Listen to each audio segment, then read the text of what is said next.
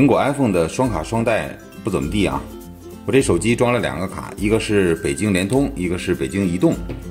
以前在华为还有小米十手机上用这两个卡都是没问题的，但换了 iPhone 十四之后，用了有一个月了吧。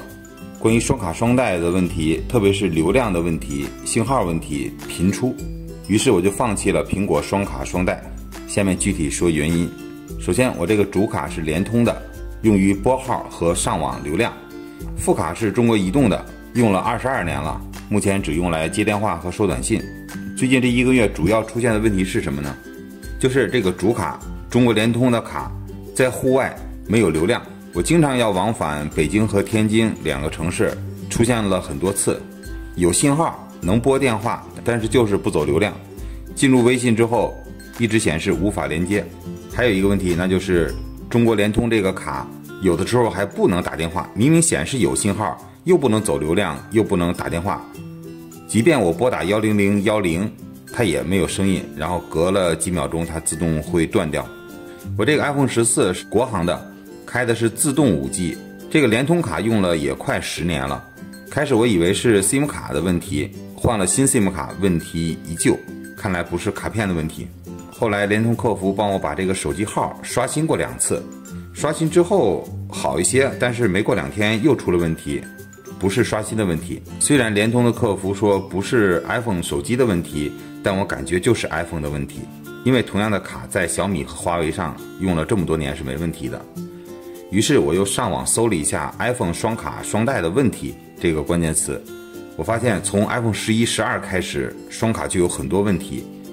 于是我就不指望着升级 iOS 来解决这个问题了。我的解决办法是让这个 iPhone 十四只用一个卡片，就当它没有双卡双待功能。下面分享一下信号啊，现在 iPhone 十四装的是中国联通的卡，一共四个格，经常会出现两个格信号。现在室内好的时候会出现三个格，也就是百分之七十五。如果这张卡在小米十上，大概是从百分之六十到百分之百的信号，基本会保持在百分之八十。另外，我在网上还听说，即便是最新的 iPhone 十四，如果只用一张卡，比用两张卡更省电，而且用一张卡的信号明显要好于用两张卡的信号。我试了一天，好像没有太大的变化，也就是感知不明显，信号和待机都是这样。但是这么做确实能解决双卡双待的问题，因为之前有几次我遇到了这个问题，我把副卡。也就是中国移动的那张卡给它关闭了，这样联通的主卡就可以正常的有流量了，而且很稳定。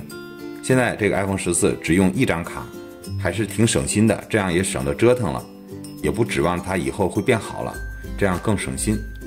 这个视频给大家提个醒吧，虽然在买 iPhone 之前我是知道 iPhone 是不能微信双开的，但现在做这个视频，我要让大家知道 iPhone 的双卡双待虽然能用，但是。